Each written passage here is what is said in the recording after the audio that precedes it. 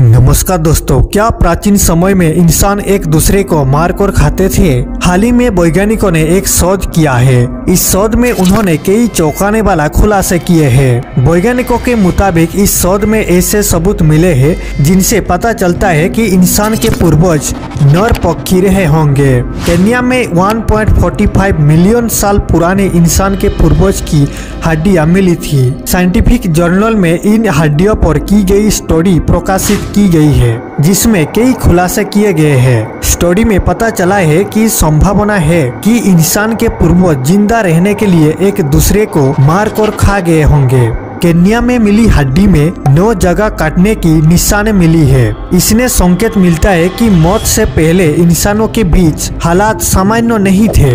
इंसानों के पूर्वजों को लेकर शोध में, अमेरिका में स्थित Smithsonian National Museum of Natural History को शोधकर्ताओं ने कई हैरान करने वाले दावे किए हैं। उनका दावा है कि पैरों की हड्डियों को पत्थर की अंजरों से चोट पहुंचाई गई है। उनका कहना है कि हो सकता है इंसानों की प्रजातियों से जुड़े नर भक्षण का ये सबसे पुराना मामला हो। शोधकर्ता ब्रियाना पबीबर ने बताया कि पैरों पर देखने वाले निशान की जाँच की।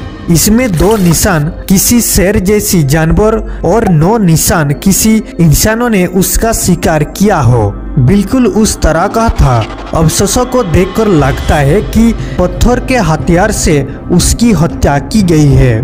ब्रियाना ने बताया कि नुकसान पहुँचने के निशान पैरों में नीचे की तरफ़ देखे गए हैं। उन्होंने बताया कि निशान उस स्थान पर था जानवर के जिस हिस्से का इस्तेमाल खाने में किया जाता है। शोधकर्ताओं ने कहा कि अब तक तो के मिले प्रमाण से लगता है कि उस समय पैरों के मांस को खाया जाता था। शरीर को स्वास्थ्य रखने के लिए इसे खाने का चलन था। रिपोर्ट में बताया गया है कि सबसे पहले इंसान के नरपक्षी होने के सबूत केन्या में नेरोबी संग्रहालय में पाए गए थे।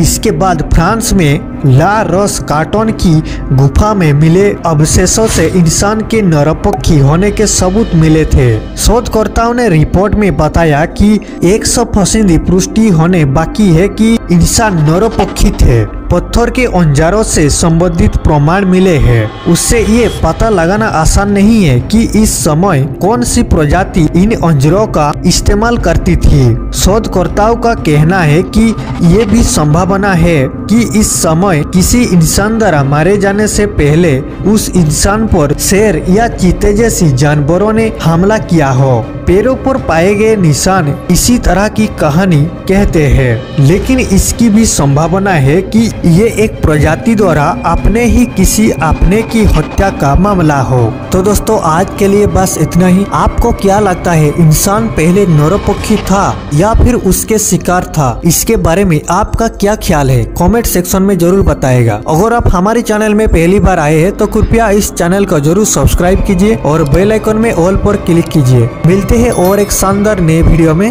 बहुत बहुत धन्यवाद।